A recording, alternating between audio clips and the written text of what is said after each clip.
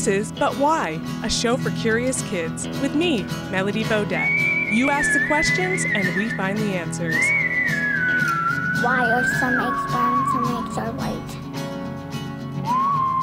Excellent question. We're so glad that you picked this. So to learn about the different colors of eggs, we're here at Agricola Farm in Panton, Vermont with Genevieve Gorjans. Hi, Genevieve. Hi. so first off, how many different colors of eggs are there? There are lots of different colors. So you might see a lot of white eggs or a lot of brown eggs from the store. But you can also get green eggs, blue eggs, more yellow eggs, and all shades of brown and white and cream in between. So you really have a rainbow of egg colors out there. And when you have a chicken, do you know what color eggs it's gonna lay? You can get pretty close. So a white chicken is more likely to lay a white egg. A darker chicken is going to lay a darker egg, but it is actually breed specific. These are two different eggs from our farm, uh, and you can see the color difference. This one is quite light, almost white, and this one is brown, and it has some even darker brown specks on it. So these probably came from different chickens. That's correct, yeah. So a specific breed of chicken, you know that it's gonna lay brown eggs, or it's gonna lay you a nice uh, greenish egg, or a speckled white egg, or something like that. And so a breed is a group of animals that have similar characteristics. That's so chickens exactly have right. breeds, kind of like dogs. Exactly, yeah, exactly right. And so how does that, that color form on the egg?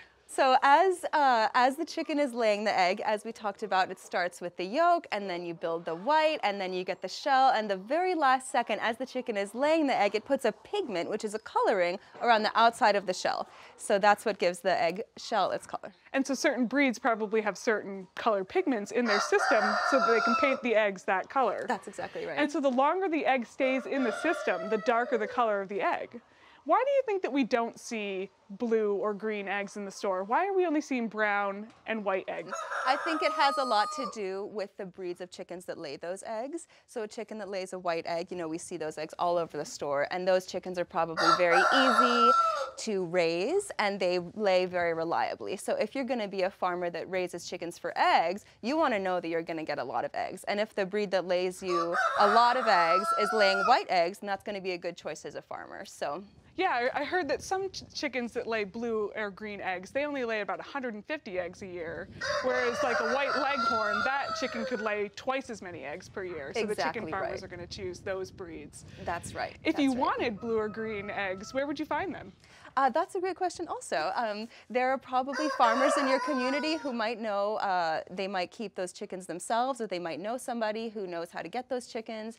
You can look at um, farmer, farmer connection resources and find, uh, find those breeds around you, but they're, you have to look for them a little bit more than you would a chicken that lays a brown or a white egg. Does the color of the egg influence the way it tastes? I don't think so. I think all eggs are delicious. I think so too. Well, thanks so much, Genevieve. Thank you, Melody.